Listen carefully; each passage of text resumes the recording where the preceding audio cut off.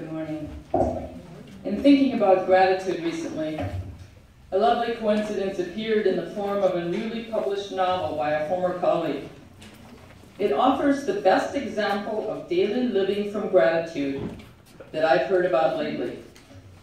The novel is Rules for Giving by Tim Sunderland, a long ago Monte Vista member who joins us again today. The contemporary Southern California plot is complex, realistic, and rich with characters dealing with issues we UUs care about. Abortion, alcoholism, homelessness, mental illness, GLBTQ identity and acceptance. More importantly, the sweet, brilliant underlying theme that ties it all together is that of the title itself, Rules for Giving. The main character, Gavin Oliver, reveals these rules after he's been spotted giving money to a freeway off-ramp panhandler. He's asked by a new acquaintance, do you always give to the homeless? He says, only if they fall within my rules. What rules? He explains, I have a set of rules for giving to homeless and other people who ask for money.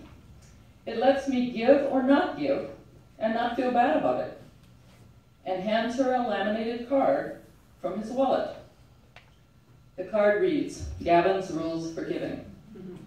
Number one, I give.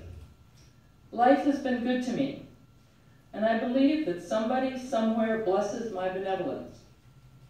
If you look like you need it, or you ask for it, I give you money. Number two, $4 a day. That doesn't sound like much, but $4 a day times 365 days in a year is close to $1,500 a year. That's a chunk of change. Number three, I don't make judgments. I don't care if the money buys a bottle of wine or a bottle of milk. Once it leaves my hands, it's not my concern. Number four, if you approach me in a retail situation, outside of a supermarket or a similar environment, I might say no. There are so many people in these places I have to draw the line. Also, if I'm dining outside at a sidewalk cafe, I'm also likely to say no. I need peace somewhere. Number five, I reserve the right to break these rules at any time. they are my rules. His new acquaintance, Rose, says, You made up these rules? She asks. It's easier than agonizing over who I give money to and who I walk away from, he says. Why do you print your reasons on a card like this? For times like these when folks ask me why I give. It's easier to hand them a card. Now I don't have a card to give you this morning, but in the back on the green table are laminated bookmarks for you to take to inspire or affirm your own personal life rules for giving. But more so, it's one example of what living out of gratitude looks like.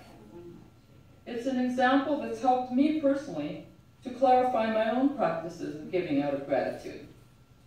My own gratitudes for all that I have been given. Indeed, for all that I have been given, my own gratitudes for so much, including friends, and their creativity, for my love of reading, and for all the inspiration I regularly receive from literature and from this community, all of you, and from Unitarian Universalism in the larger world, for which I am delighted to offer a big hallelujah. Amen. Hallelujah.